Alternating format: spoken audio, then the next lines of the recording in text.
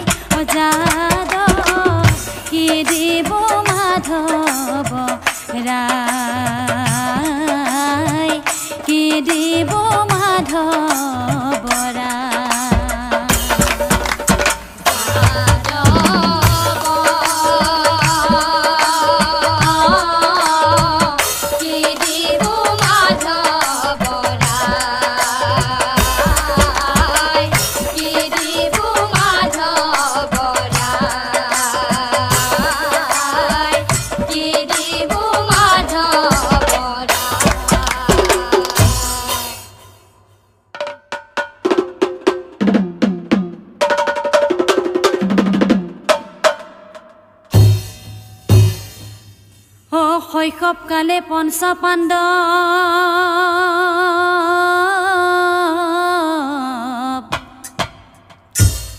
অ কৌৰৱৰ লগত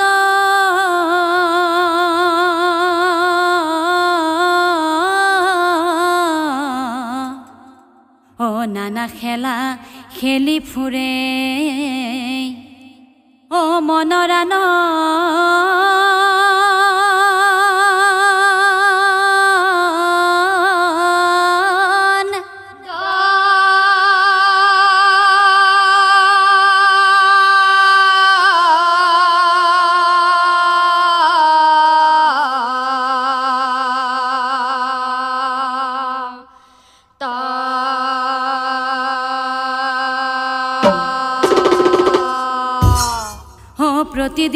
খেলা কৰে।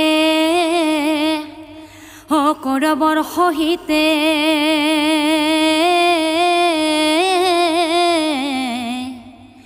ও কপতিয়া দুৰ্যোধনে ও থাকে কুত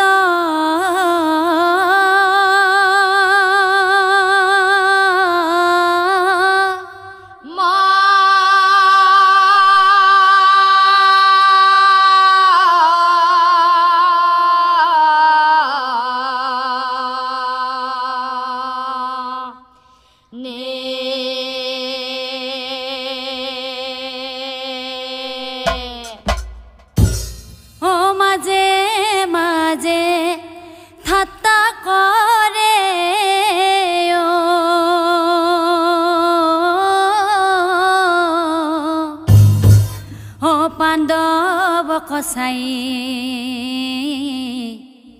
ভাইহঁতই ইহঁতৰ আচল কথাটো কি জান? ইহঁতৰ বাপেকৰ চিন নাই। গতিকে ইহঁত জাৰজ সন্তান হয়নে ভাইহঁত? হয় হয় হয়। অ জাৰজ বুলিয়া কৈ হোৱানকো শিকায়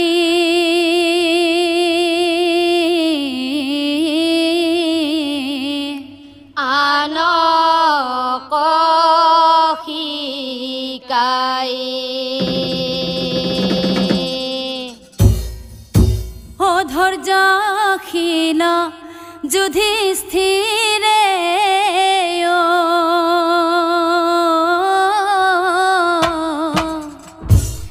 ও নিদিয়ে উত্তৰ। আৰু তেতিয়া ভীমে কয় নাই নাই কিয় ইহঁতে আমাক জাৰজ বুলি কয়? ইহঁতৰ লগত আমি আৰু কেতিয়াও খেলা নেখেলোঁ। অ কাৰণে কিয় আমাক অ কৰে তিৰস্কাৰ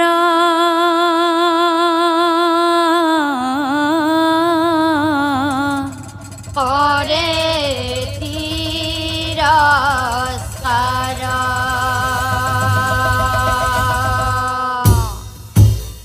অ এহি বুলি পঞ্চ ভাই অ গৃহ কমা মাতৃক চাহিয়া পাছে।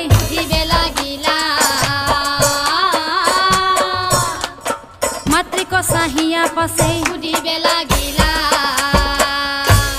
বিষাদিত মনে ভাতৃ পঞ্চজনে মাউৰ ওচৰে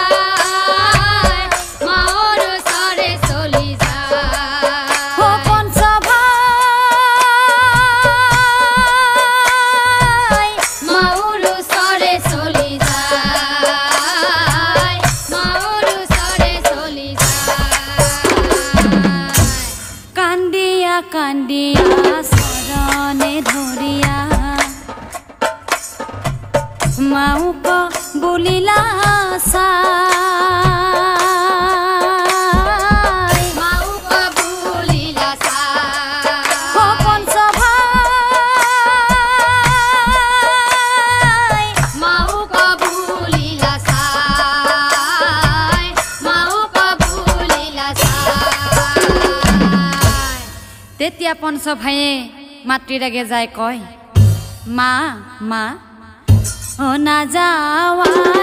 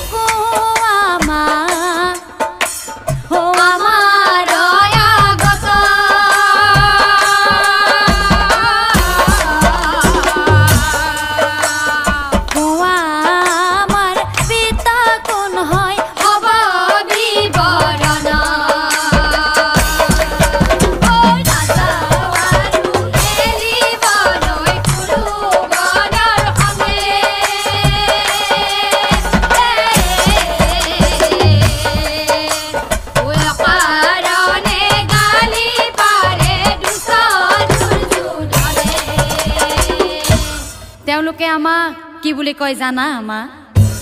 আমি বোলে যাৰ সন্তান অ নাই পিতাৰ ভাতৃ বুলি পৰিচয় কৰে কি? অ ভাতৃ বুলি পৰিচয় কৰে কি?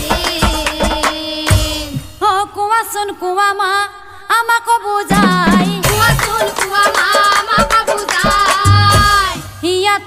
দুখৰ কথা জানো কিবা হয়? ইয়াতকৈ দুখৰ কথা জানো কিবা হয়? অ পুত্ৰৰ কথা শুনি কোনটি ভাবে মনে মনৰ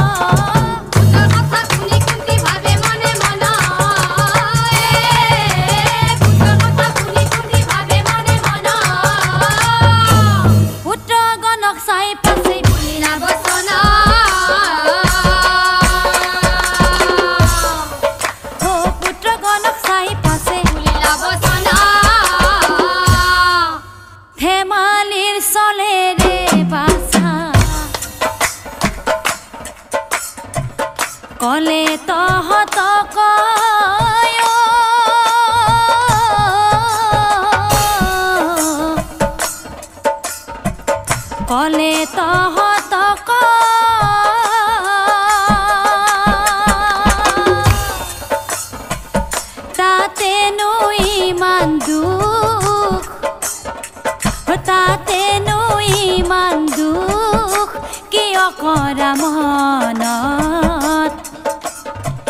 ধেমালিতে কলে তহ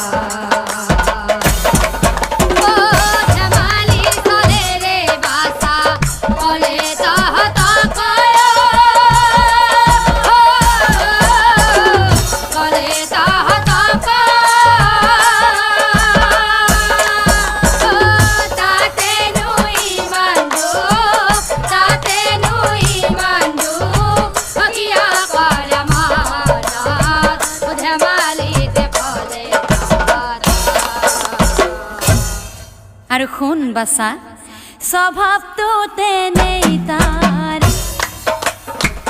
দুৰ্যোধন বোপাৰ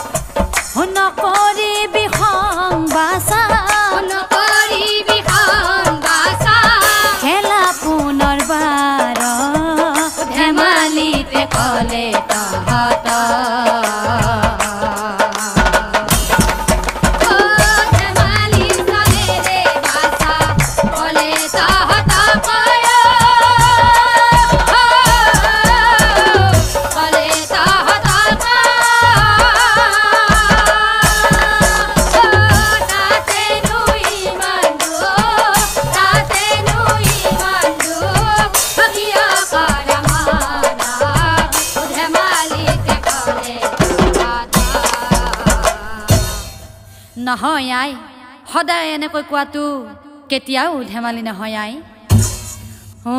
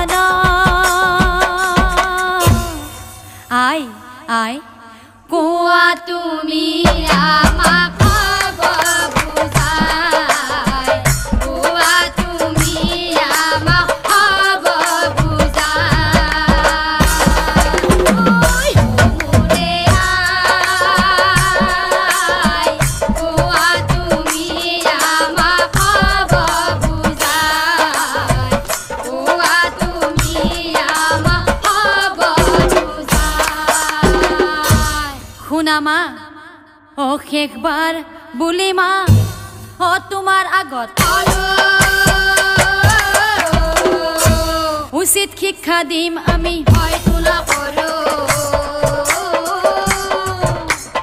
উচিত শিক্ষা দিম আমি আৰু মা অ পিতা আছিল পাণ্ডু ৰজা অ ধৃতৰাষ্ট্ৰৰ কিন্তু মই যমৰ ই ইন্দ্ৰৰ আৰু ই পৱনৰ কিয় কিয় আমাক যমৰ ইন্দ্ৰৰ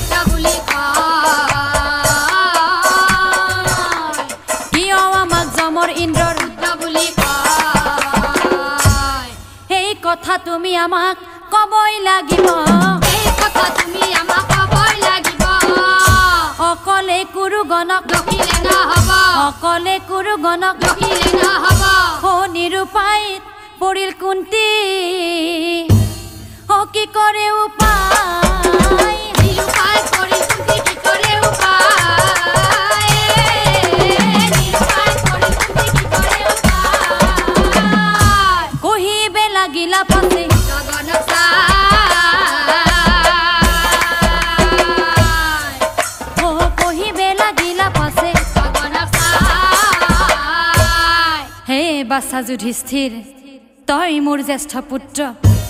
তথাপিও তোক মই কোৱা নাছিলো। তোৰ পিতৃ অভিশাপ আৰু মৃত্যুৰ কথা। তহঁত তহঁত কিয় দেৱতাৰ সন্তান হ'ব লগা হ'ল? শুন বাছাহঁত। একদিনা পিতাৰাই বনে চলি যায় মৃগ অন্বেষণ কৰি আনন্দিত হৈ মৃগ অন্বেষণ কৰি আনন্দিত হৈ একদিন পিতা ৰাইও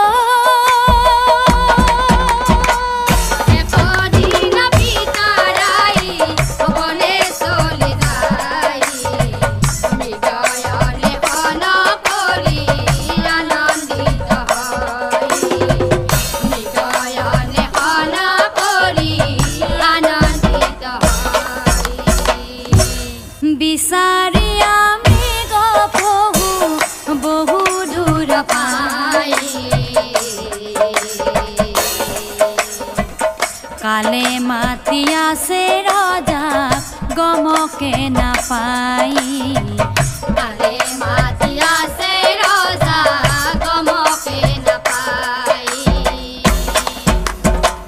মৃগ লোভে আগুৱাই যায় ঘোৰ বনৰ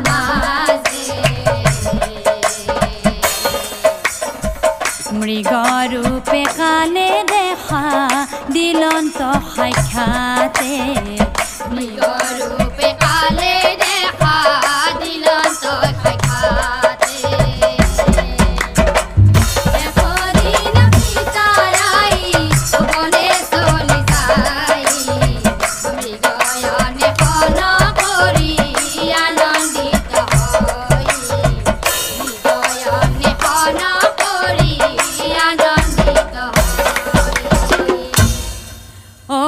হৰিণ হৰিণী দুটি অ বনৰমা দাদা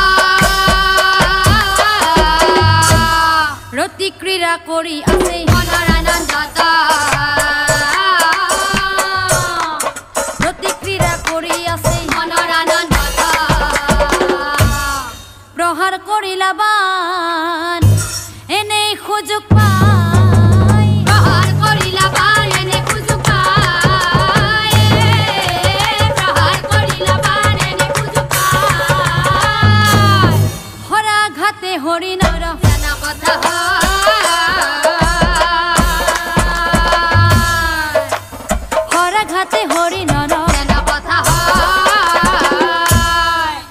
হৰিণ মাৰিলা ৰজাই অ বনৰমা দাদা! কিন্তু পৰি আছে মানৱে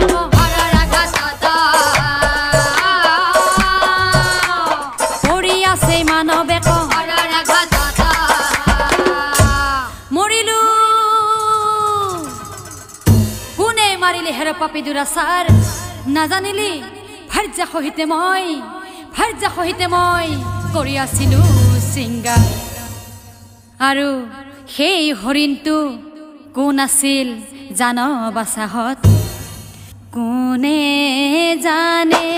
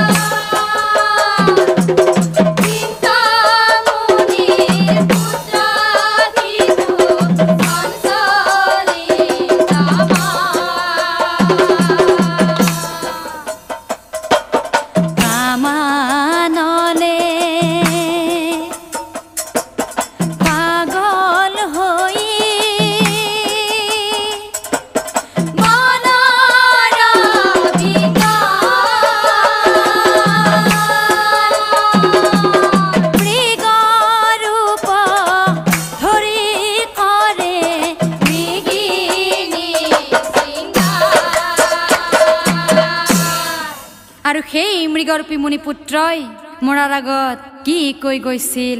জান বাচাহত? শুন মহাপাপী ৰজা মহাধাৰ্মিক বুলি তোক সবেই গুণ গাই কিন্তু ক'ত ক'ত তোৰ ধৰ্মজ্ঞান? মুঠেও দেখোন নাই। ব্ৰহ্মবধ কৰিলি তই ব্ৰহ্মবধ কৰিলি তই মাংসৰ লোভত পৰি। বুজিলো বুজিলো কিমান ধাৰ্মিক তই হে দুৰাচাৰী। তেতিয়া ৰজাই কয় নাই নাই তেনেকৈ নকবা মুনিবৰ তেনেকৈ নকবা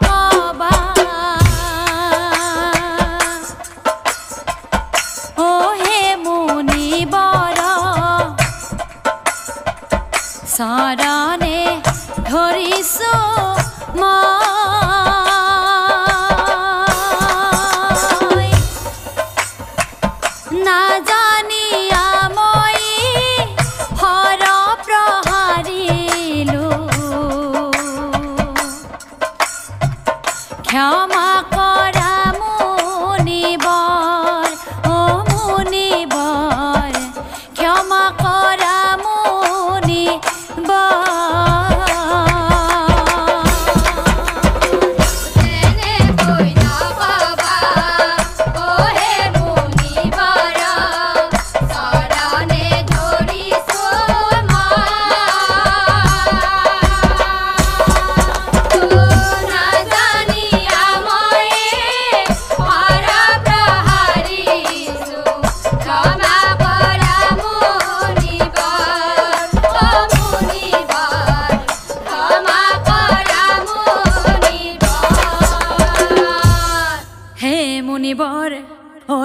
আছা ছদ্ম বেশে অ হৰিণৰ লগত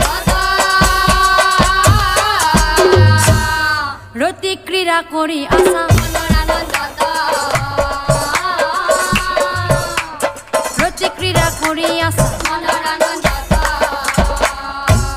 নাজানিনো বুজি মই হৰ প্ৰহাৰিছো। চৰণে ধৰিছো মই। চৰণে ধৰিছো মই হে মুনিবৰ মোক ক্ষমা কৰি দিয়া মুনিবৰ মোক ক্ষমা কৰি দিয়া। তেতিয়া মুনিয়ে কয় হেৰা ৰজা কিয় তুমি নাজানা? শয়ন ভোজন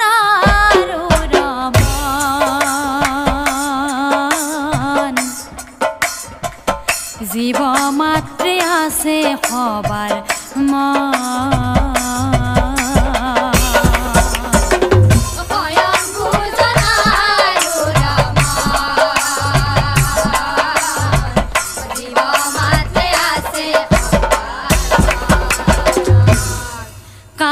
ক্ৰোধ লোভ মোহ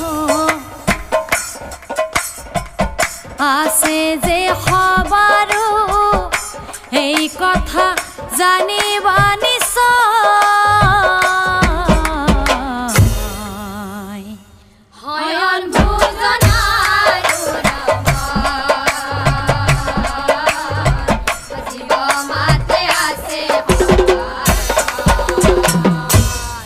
উঠিব নোৱাৰে মুনি অ বিষ ৰজা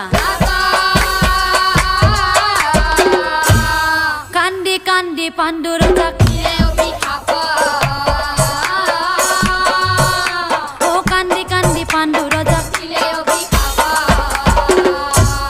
শুন মহাপাপী ৰজা মনৰ আশা মনত ৰল মোৰ শৃংগাৰ বাসনাই সেই হেতু সেই হেতু অভিশাপ দিম তোক মই শুন ৰজা আজিৰ পৰা আজিৰ পৰা নাৰীৰ লগত যিদিনা তই কৰিবি শৃংগাৰ সেইদিনাই মৰিবি তই পাপী দুৰাচাৰ বাসনাই বাসনাই পাগল কৰি ৰাখিব তোৰ মন।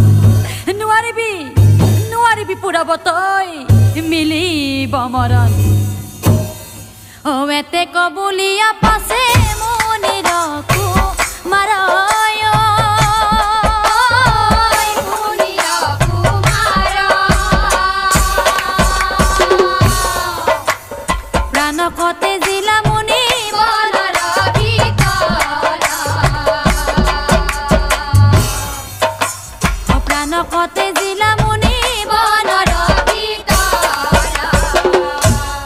তেতিয়া ৰজাই মনে মনে ভাবে জীৱনটো হ'ল।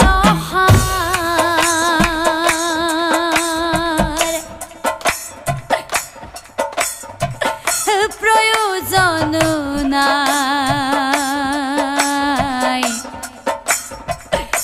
কদাপি নাথাকো জীয়াই একিমতে থাকো জীয়া।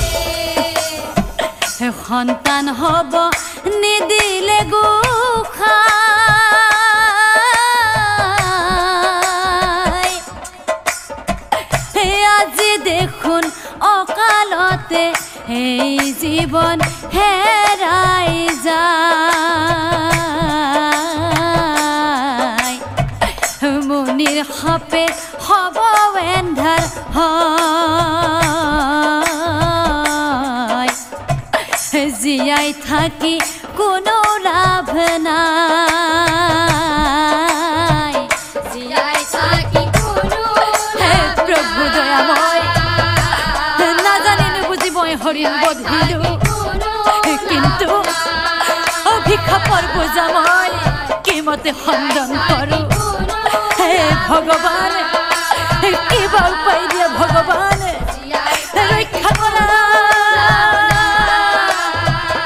ৰক্ষা কৰা ৰক্ষা কৰা কান্দি কান্দি পাণ্ডু ৰজা অগৃহ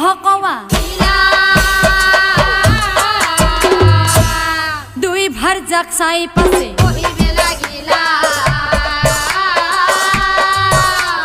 দুই ভার যাক সাই পাশে। ও প্রিয়ে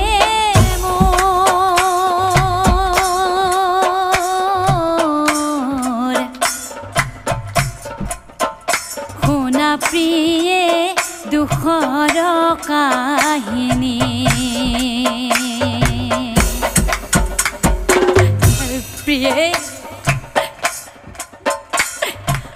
অ হৰিণ বুলি ব্ৰাহ্মণ বোধি। ব্ৰহ্ম সাপ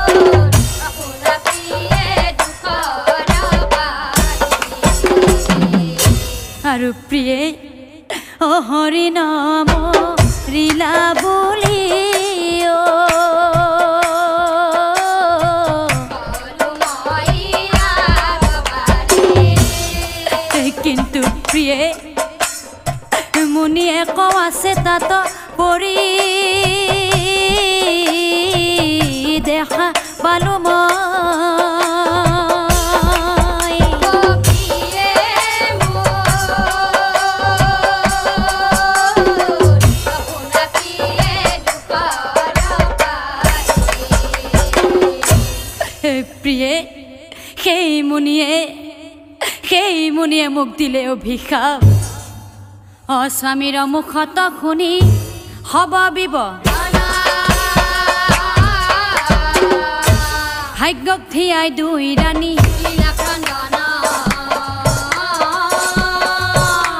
অ ভাগ্যক থিয়াই দুই ৰাণী। স্বামী অ সংসাৰত পুত্ৰ কন্যাৰ অতি প্ৰয়োগ। কিন্তু স্বামী আমাৰ সন্তান নহলে কোনে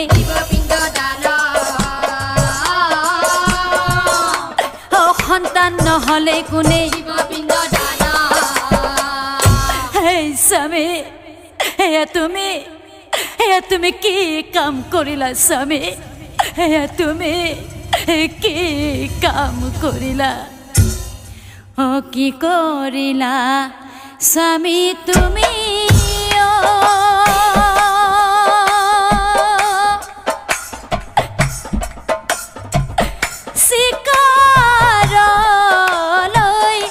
যাই।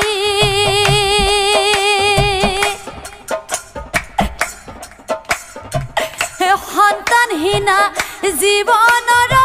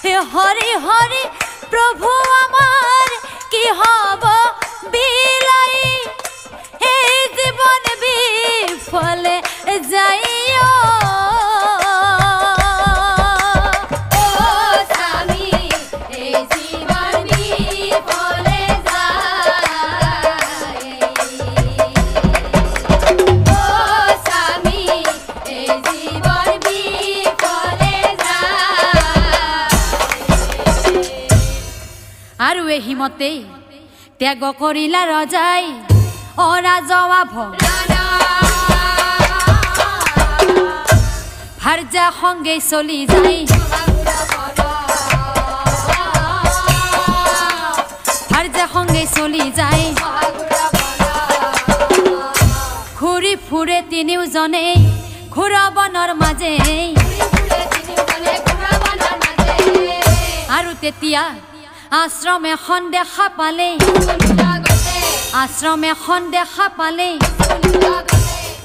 আশ্ৰম দেখি দুই রানীর মনে ভাব হয়।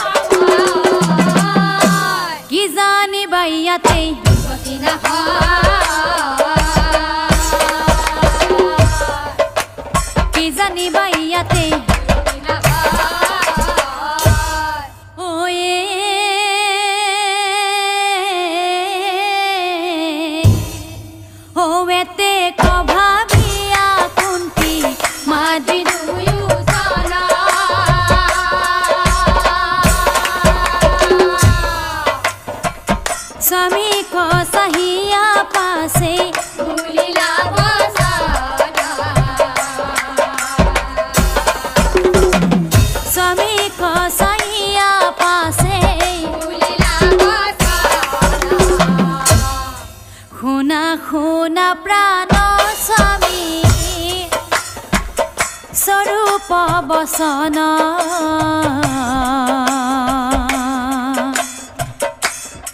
স্বামী হৌ যে দেখিছা আশ্ৰম অতি বিতুপন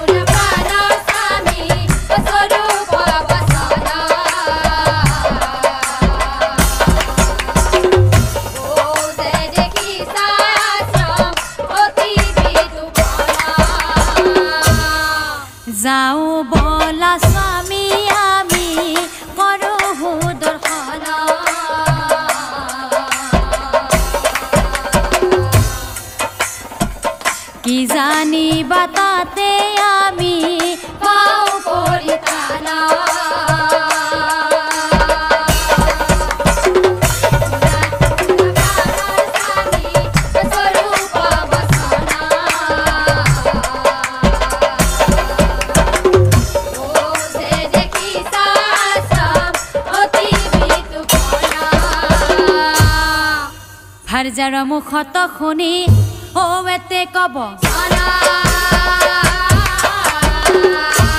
আশ্ৰমলৈ তিনিওজনেই ঔ আশ্ৰমলৈ তিনিওজনেই বহি আছে মুনি এক ধ্যানমগ্ন হৈ ৰজা ৰাণী তিনিওজনেই ৰজা ৰাণী তিনিওজনেই কিছু সময় মূৰত মুনিৰ ধ্যান ভংগ তিনিওজনক চাই পাছে। তিনিওজনক চাই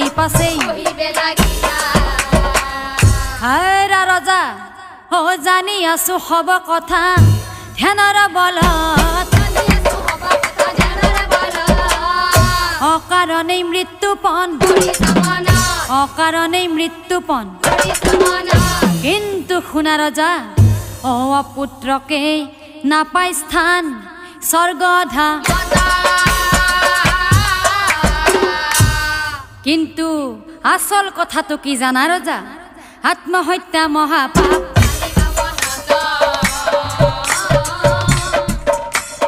আত্মহত্যা মহাপাপ। আৰু তেতিয়া মুনিয়ে ৰজাৰ ফালে চাই কয়, তোমাৰ ভাৰ্যা কুন্তি ৰাণীৰ আছে মন্ত্ৰ শক্তি? মন্ত্ৰ বলে, পাব পাৰে জীৱা কৰে ভক্তি।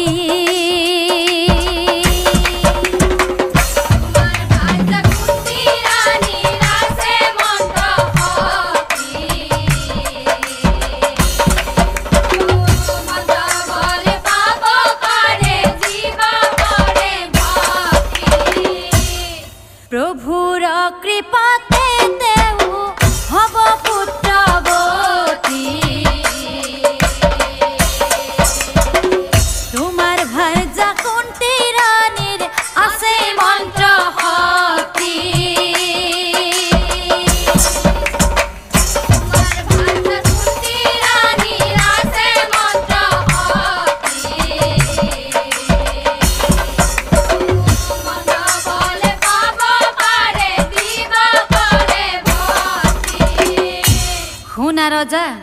মহামন্ত্রর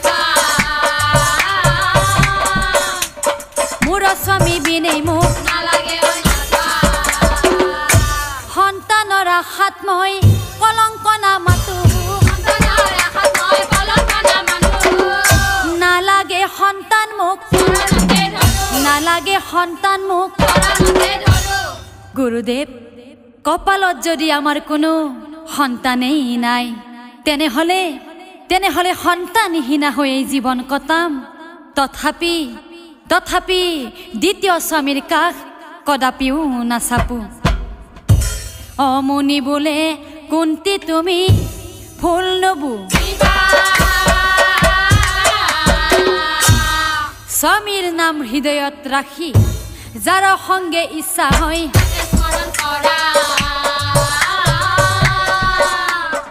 যাৰ সংগে ইচ্ছা হয় আৰু ৰজা দিয়াহে মহাৰাই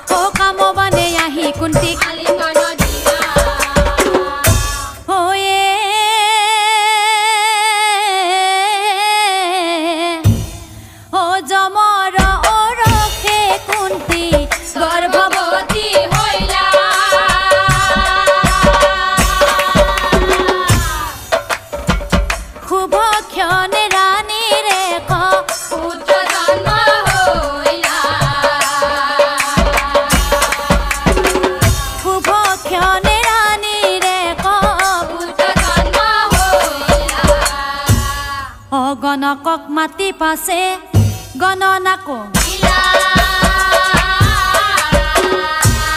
গণনা কৰি Anam. ako ila gonon ako riana mo ঠিক এনেদৰেই ভীম অৰ্জুন আদি কৰি পঞ্চপুত্ৰৰ জন্ম দিলে ক্ৰমে পৱন ইন্দ্ৰ অশ্বিনী কুমাৰক স্মৰণ কৰি। আৰু এদিন আৰু এদিন আনন্দতে ৰজাই কি কৰিলে একদিনা পাণ্ডুৰা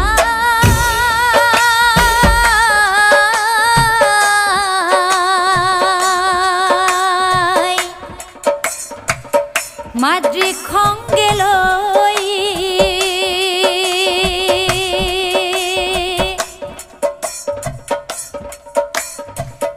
বন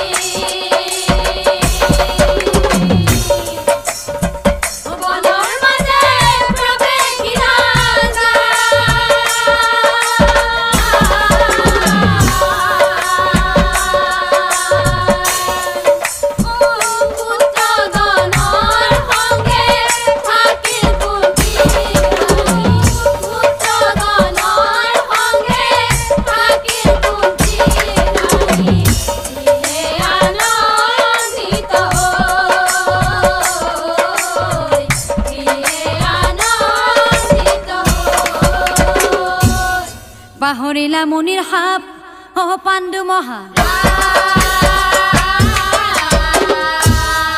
অকল সৰে পাই ৰাণীক অকল সৰে পাই ৰাণীক পাণ্ডু ৰজা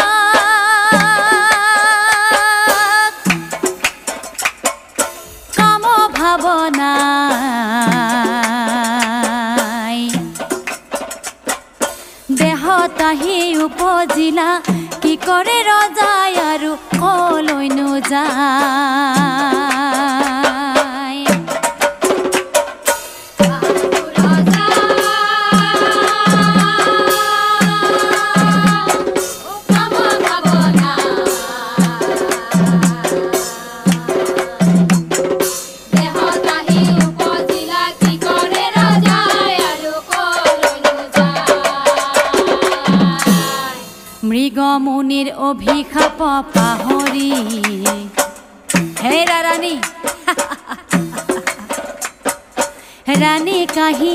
কৰিলা ৰমন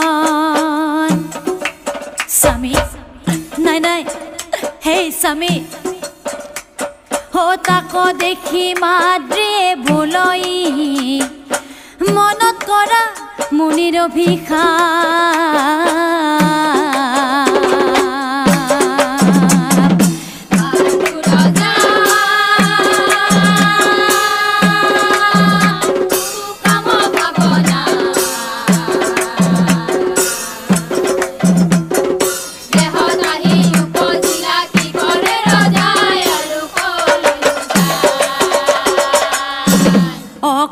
যে বুজালে মাদ্ৰী অ কাতৰক কিন্তু কামে জৰ্জৰিত পাণ্ডু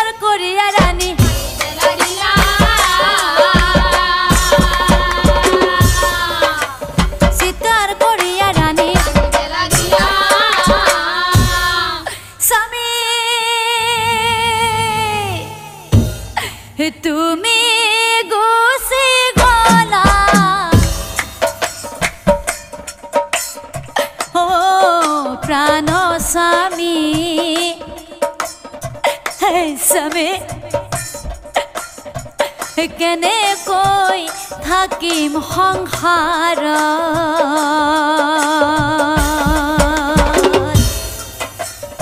হে স্বামী এবাৰ চোৱা হে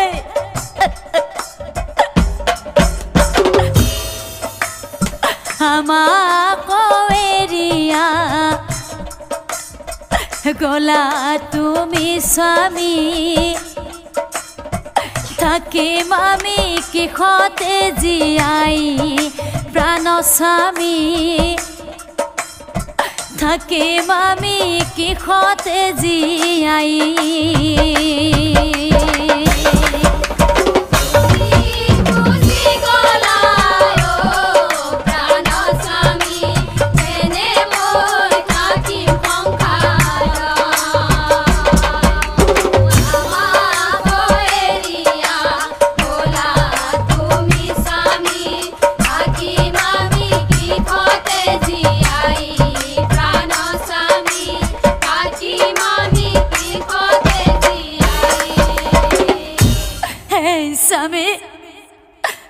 পূৰ্বৰ অভিশাপ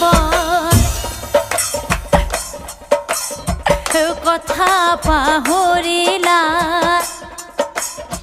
মুনিৰ সাপে এনে দশা হৈলা প্ৰাণ স্বামী।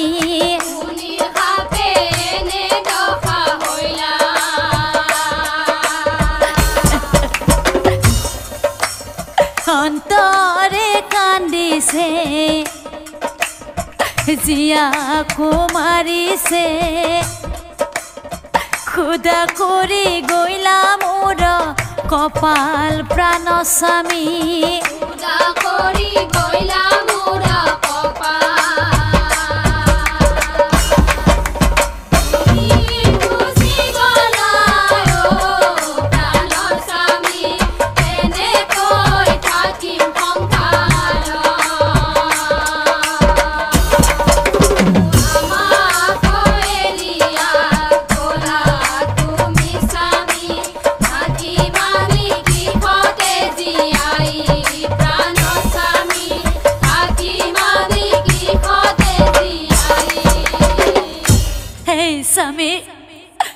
অমুনিৰ বৰে পঞ্চপুত্ৰ জনম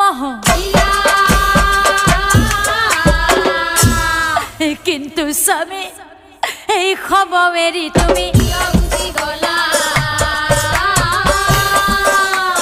এই খবৰ এৰি তুমি হেৰা স্বামী কুন্তি আৰু পঞ্চপুত্ৰ আছে ৰংগ তোমাৰ মৃত্যুৰ কথা মই তোমাৰ মৃত্যুৰ কথা মই হেই স্বামী স্বামী ক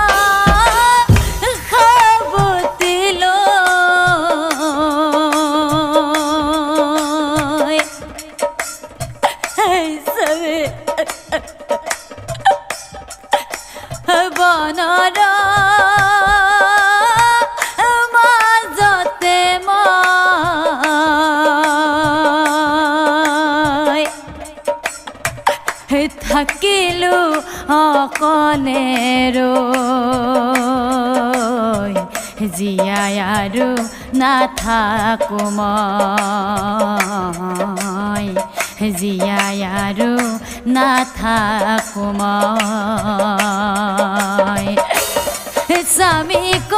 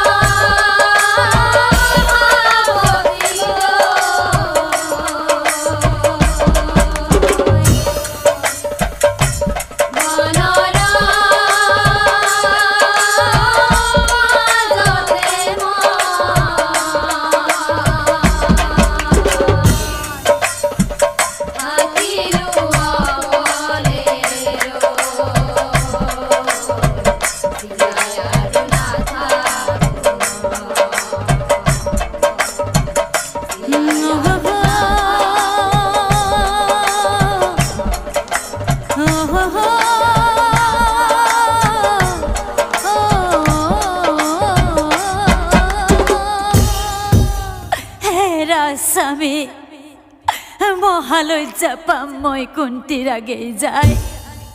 সকলোৱে দুখিব মোক। সকলোৱে দুখিব মোক। কি কৰো পাই? নাই নাই নাই নাই। ময়ো আৰু জীয়াই নাথাকিম স্বামী। ময়ো আৰু জীয়াই নাথাকিম স্বামী। ময়ো ময়ো তোমাৰ সংগেই গুচি যাম। কান্দি কান্দি মাদ্ৰী ৰাণী অস্থিৰ কৰে। স্বামীৰ লগতে ৰাণী।